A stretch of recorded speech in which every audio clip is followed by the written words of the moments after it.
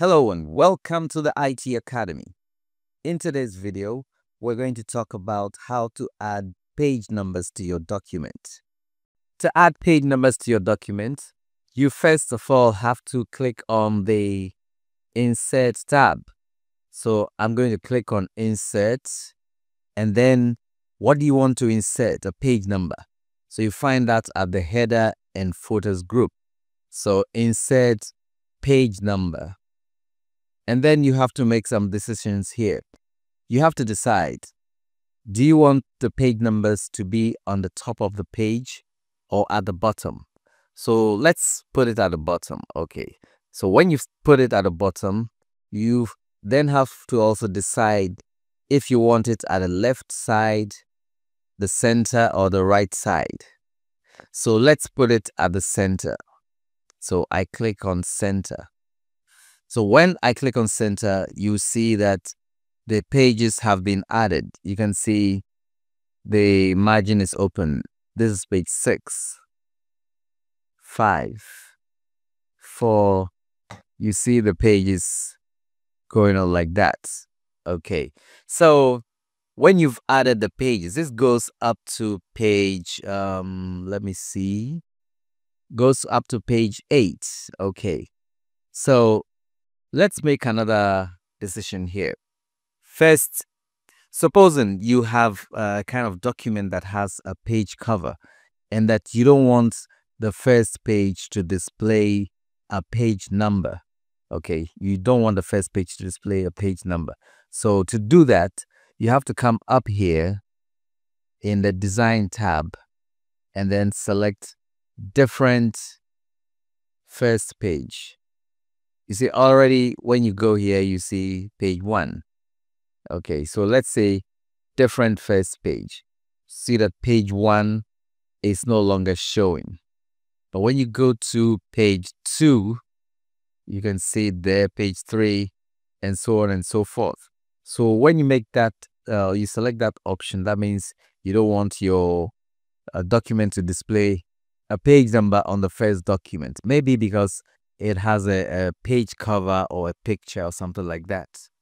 Okay. Then you also have another option here. Let me remove that different first page so that we now have the page one back. So you have this other option here. Different odd and even pages. Let's say you decide for some reason that you want to display only the odd numbers for the page numbers. You simply select different odd and even pages. And then you can see after page 1, page 2 has nothing. And then you have page 3. Page 4 has nothing. And you have page 5. So it'll leave out all the even numbers. Okay. So when you've finished, you just click on the let's take it back. Okay we want every page number to show. So when you finish you click on close header and footer button here. You click it and you're out of that environment. So your document now displays page numbers okay? But you can also decide to change the format of the page numbers to do that, you simply go to insert uh, page number again. And then you see format page numbers. Yes. So here you can now decide what kind of formatting you want. You see, or by default, it has this one, two, three. You can decide that you want it to have one, two, three with dashes before and after the numbers. Let's click on that one and see. So let's see the page numbers. You see that there are some dashes, you know, one before, one after the numbers. So let's see what other options there are there. Insert page number. Let's see format. You also have this option here to make it display ABC letters small letters, ABC capital. You can also display the page numbers as Roman numerals. Let's see how that's going to look. Okay. You can see one here and a two here, three and a four. Okay, so that is that option. So let's go back there and uh, format page numbers. So I wanted to display the one, two, three, the default setting.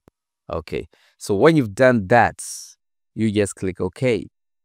And then your document has page numbers. Okay, make it really look nice and uh, it has a feel of being well organized with page numbers. Okay, so that's how we can add basic page numbers to our documents in Microsoft Word.